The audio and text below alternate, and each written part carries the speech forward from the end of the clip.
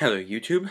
Before we start this video, just want to remind you that this video is part of our All Things Apple giveaway and that you can leave a comment on this video with All Things Apple giveaway in the comment to be entered to win an iPhone 4S, an iPod Touch, an iPod Shuffle, or an iPod Nano.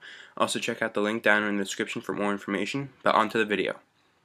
Today we've got some good news for anybody that bought an iPhone 4S or iPad 2, which I think probably includes a lot of you. But there are reports coming out from the dev team that they are in the very preliminary stages of a jailbreak for the iPhone 4S and the iPad 2.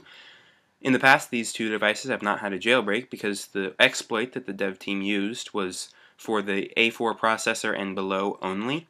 So the A5 processor, the new processor in the iPad 2 and iPhone 4S, did not have a jailbreak available. But we now have video of an iPhone of an iPad 2 running Cydia and as well as several of the default apps which you can check out a link to down in the description.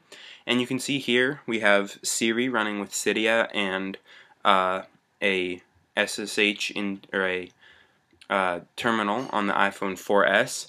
Now, uh, MuscleNerd has warned that this is probably not going to come out for quite a bit, since they still have a lot of little issues and bug fixes to get working before they can actually make a public release. We may be seeing a beta in the future before a fully working public release. At this point, it's really too early to say, but the fact that they were able to get Cydia running on the, these devices is definitely big news, and a lot of people have been waiting in, uh, very hopefully for a jailbreak for the iPad 2.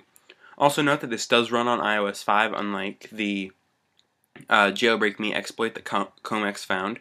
This will work, hopefully, and I'm pretty sure since uh, it works on the iPad 2 and iPhone 4S, that this will hopefully work for all software versions and that from now on, if you have an iPhone 4S or iPad 2, all software versions will be able to be jailbroken.